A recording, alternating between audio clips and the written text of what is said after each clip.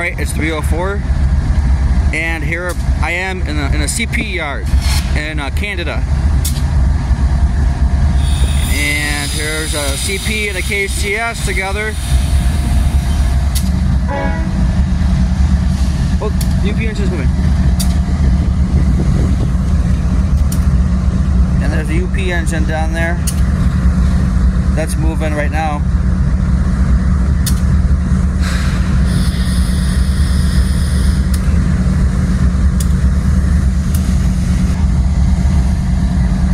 Here's, the, here's these engines. And then down here is VCP EMDs. We got CP 3042, 2269,